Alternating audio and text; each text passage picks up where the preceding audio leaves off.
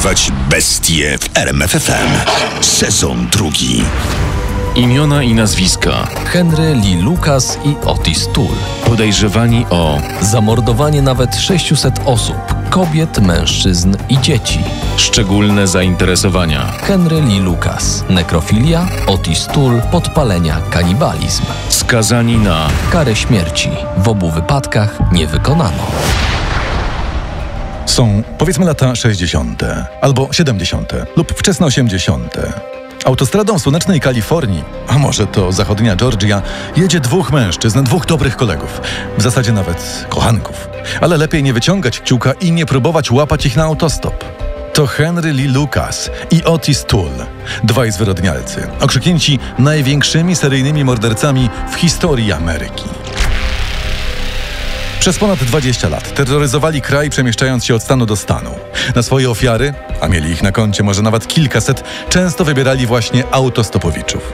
A przede wszystkim autostopowiczki.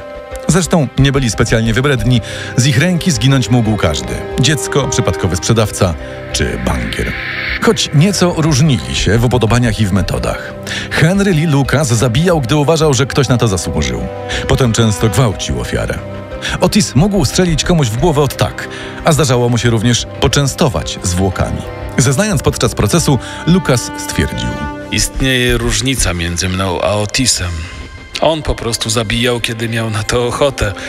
Ja przynajmniej ich wcześniej ostrzegałem. Jak i kiedy się to wszystko zaczęło? Jak to najczęściej bywa w dzieciństwie. W obu przypadkach Lucasa i Tula nie były to sielskie lata, anielskie. Henry Lee Lucas urodził się w 1936 roku w Blacksburgu, w stanie Virginia. Jego matka, Viola, była prostytutką, a ojciec, Anderson, alkoholikiem. Henry w zasadzie od pierwszych dni życia był karany, głodzony i bity. Matka zmuszała go do patrzenia na swoje łóżkowe wyczyny z klientami. Jedyna miłość, która przewinęła się przez ten dom, była miłością płatną. Często zresztą słabo płatną, bo matka potrafiła się oddawać choćby za butelkę taniego wina. Nic dziwnego, że mały Henry nie był nauczony uczuć wyższych i całe dnie poświęcał na torturowaniu zwierząt. Co ty dziś robiłeś, gówniarzu? Przejechałem kota na rowerze i wyrwałem nogi żabie. Było super. W domu Lukasów nie było prądu i wody. Nie było nawet podłogi, a jedynie klepisko, na którym spali Henry, jego dziewięcioro rodzeństwa i rodzice. Pewnego dnia Wiola Lukas tak bardzo zbiła chłopaka, że zraniła go w lewe oko, które trzeba było usunąć i zamienić na szklane. Dziesięcioletni Henry był także uzależniony od alkoholu. W nauk wpędził go ojciec, który po tym jak pijany upadł na torę kolejowej i stracił obie nogi, założył domową wytwórnię bimbru. Mały Lukas miał tam zajęcie w charakterze testera. No, synek, próbuj, nie zaszkodzi ci. No, porządny łyk, o, dobry chłopak. Mimo wszystko ojciec był jedyną osobą, z którą Henry się liczył i która okazywała mu choć odrobinę życzliwości. Po jego śmierci serce małego Lukasa całkiem zmieniło się w kamień. Stał się totalnym degeneratem. Jako trzynastolatek przychwalał się, że udusił koleżankę, bo nie chciała z nim iść do łóżka. Nigdy nie udało się potwierdzić tej zbrodni, ale już same przechwałki nie świadczyły o prawidłowym rozwoju chłopaka. Ej, ale serio. Najpierw ją stłukłem, potem zmusiłem do seksu, a na koniec zaciukałem. Henry staczał się coraz bardziej. Brał narkotyki, pił, kradł, uprawiał seks z kim popadnie. Wylądował nawet w poprawczaku w Beaumont w stanie Virginia za włamanie. Po wyjściu pracował na farmie, ale wkrótce trafił, tym razem już do więzienia, oskarżony o włamanie. Pewnego dnia, gdy w ramach prac społecznych pracował jako robotnik drogowy, udało mu się uciec z kradzionym samochodem. W końcu został schwytany, ale podczas dwumiesięcznej ucieczki poznał dziewczynę o imieniu Stella. Gdy wyszedł na wolność, skontaktował się z nią i poprosił ją o rękę. Stella zgodziła się, ale na drodze do szczęścia młodych stanęła matka Lukasa, Viola. Przyjechała do domu Opal, przyrodniej siostry Henry'ego, u której ten mieszkał po wyjściu z więzienia i przy Stelli zrobiła synowi awanturę. No pewnie, rzęcie ty samolubny idioto. A kto się będzie opiekował matką na stare lata? Stella, widząc, że to nie jest towarzystwo dla niej, zerwała zaręczyny. Wściekły Henry nie mógł tego darować matce. Wywiązała się między nimi bójka. Jak zeznał później policjantom, Pamiętam tylko, że uderzyłem ją w kark. Potem zobaczyłem, że upada. Kiedy chciałem ją podnieść, zdałem sobie sprawę, że już nie. Dopiero Dopiero później zobaczyłem, że trzymam nóż, a matka leży pocięta. Był 11 stycznia 1960 roku. Henry Lee Lucas na 10 lat trafił do więzienia. Tam zaczął słyszeć głosy, które miały z niego drwić, w tym głos matki nakłaniającego do samobójstwa. Został przeniesiony do szpitala psychiatrycznego, gdzie nafaszerowano go psychotropami i poddawano elektrowstrząsom. Ostatecznie wyszedł na wolność. Szybko poznał kobietę, Betty Crawford, z którą również szybko wziął ślub. Niestety sielanka nie trwała długo. Kobieta oskarżyła go o to, że molestuje jej nieletnie córki i wyrzuciła go z domu. Znów trafił do więzienia. W tamtejszej bibliotece dokształcał się w dziedzinie prawa. Przeczytał m.in., że po popełnieniu przestępstwa należy przekroczyć granicę stanu, by nie zostać złapanym. W tamtejszej bibliotece dokształcał się w dziedzinie prawa. Przeczytał m.in., że po popełnieniu przestępstwa należy przekroczyć granicę stanu, by nie zostać złapanym. Gdy wyszedł na wolność, był przygotowany. Rozpoczął podróż po całych Stanach Zjednoczonych, która miała odcisnąć wyjątkowo krwawy ślad w amerykańskiej historii. Jednym z jego pierwszych przystanków była jadłodajnia dla bezdomnych w Jacksonville na Florydzie. To tam poznał niejakiego Otisa Tula. Panowie bardzo przypadli sobie do gustu. A wiesz, Otis, ja to mam takie marzenie, żeby zadawać ból kobietom i mężczyznom, żeby mnie błagali o litość. Żeby wręcz skamlali o litość. Historia Otisa Tula jest nieco podobna do życiorysu Lucasa. Co prawda matka Otisa nie była prostytutką, ale upokarzanie chłopca było jednym z jej ulubionych zajęć. Przebierała go w ubrankę dla dziewczynek i nazywała Susan, a także razem z mężem, podobnie jak ojciec Henry'ego alkoholikiem, wykorzystywała seksualnie.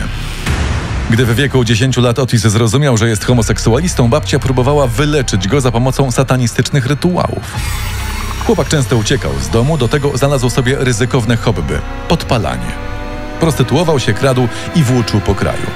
Kiedy skończył 14 lat, zabił po raz pierwszy. Jego ofiarą stał się sprzedawca, pedofil, proponujący mu seks. Otis zadźgał go nożem w jego własnym aucie. Następnie kontynuował podróż po Stanach, stając się głównym podejrzanym w kilku sprawach o morderstwo, m.in. 24-letniej Patricia Webb z Nebraski. Zręcznie wymykał się jednak organom ścigania. W 1976 roku poślubił starszą o 25 lat kobietę, która zostawiła go po kilku dniach, odkrywszy mroczny sekret męża. Nie, nie wierzę. Ty, ty, ty łajdaku, ty wolisz mężczyzn. W końcu drogi Tula i Lukasa skrzyżowały się. Stali się nie tylko kochankami, ale i wspólnikami w zbrodniczym procederze. Opętani przez seks i przemoc, razem wkroczyli na morderczy szlak, zabijając, dla uzyskania coraz silniejszych wrażeń, kobiety, mężczyzn, a nawet dzieci. Wystarczyło wejść im w drogę, znaleźć się w niewłaściwym miejscu i czasie, by stracić życie. Już po aresztowaniu Henry Lee Lucas wyznał. Zabijałem, dusząc, sztyletując, potrącając samochodem i uciekając, strzelając, rabując, wieszając. W zasadzie zabijałem w każdy możliwy sposób. W każdy sposób i każdego. Przede wszystkim dziewczyny, autostopowiczki, hipiski, prostytutki, choć nie tylko. Najpierw obaj mężczyźni odbierali im życie, a później bezcześcili ich ciała. Gwałcili, ćwiartowali, a na koniec zjadali. W zasadzie zjadał Otis, który gustował w ludzkim mięsie. Twierdził, że skonsumował około 150 osób. Po uczcie resztę zwłok mordercy rozrzucali w promieniu kilkunastu kilometrów, by trudniej było zidentyfikować ciała. Jedną z najstraszniejszych zbrodni, za którą najprawdopodobniej stał Tool, było zamordowanie sześcioletniego Adama Walsha. Otis zaczepił chłopca na parkingu przed centrum handlowym. Hej mały, nie chcesz czasem cukierka? Mam też fajne zabawki w aucie. Chodź, pokażę ci. Gdy chłopczyk stwierdził, że chce wracać do domu i zaczął płakać, Tul uderzył go pięścią w twarz, a następnie bił, dopóty, dopóki sześciolatek nie stracił przytomności. Potem go zgwałcił, poćwiartował jego zwłoki maczetą i odciął głowę, którą przez kilka dni trzymał w samochodzie. Otis był także autorem makabrycznej zbrodni na swoim kochanku, George'u Sonnenbergu, z którym spotykał się na początku lat 80., gdy znudził się Lukasem. Po tym jak Sonnenberg zerwał z Tulem, ten podpalił go w sypialni. Mężczyzna żył jeszcze przez tydzień i umarł w potwornych męczarniach. Tymczasem Lucas związał się z Becky Powell, nastolatką, która dołączyła do zbrodniczej paczki. Był to bardzo burzliwy związek. Pewnego dnia między kochankami wybuchła kolejna awantura. Henry wyciągnął nóż. Po prostu ją dźgnąłem. W pierś. Chwilę siedziała. A potem upadła. Po zamordowaniu Becky, Lucas odbył z jej zwłokami stosunek seksualny. Potem poćwiartował ciało, umieścił szczątki w trzech poszewkach i porzucił w polu. Jednak nie była to dla niego po prostu kolejna zbrodnia.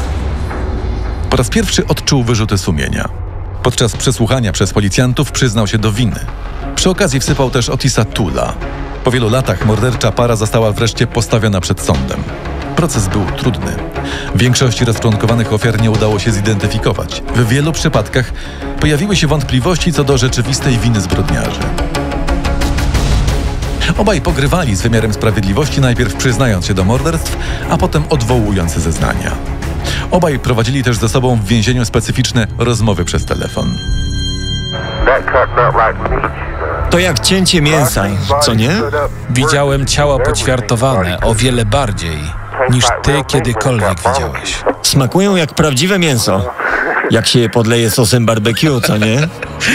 Prawda.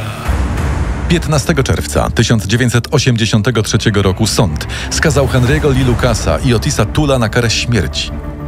Wyroku nie wykonano. Tull zmarł w 1996 roku na marskość wątroby, a Lucas 5 lat później na atak serca.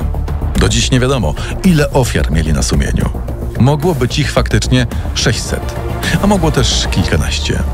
Zdaniem śledczych wiele zmrożących krew w żyłach historii obaj mężczyźni po prostu wymyślili. Poznaj sekrety największych zbrodniarzy świata. Dorwać bestie w RMFFM.